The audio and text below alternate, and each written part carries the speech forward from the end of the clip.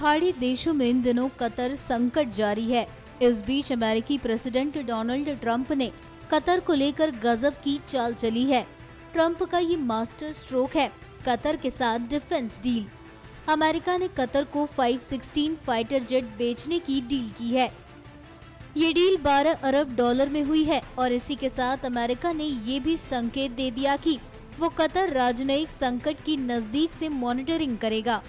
लेकिन अमेरिका के इस फैसले ने सऊदी अरब समेत खाड़ी देशों को हैरान कर दिया है। बता दें कि इससे पहले डोनाल्ड ट्रंप ने सऊदी अरब के साथ 110 अरब डॉलर के हथियार समझौते पर साइन किया था।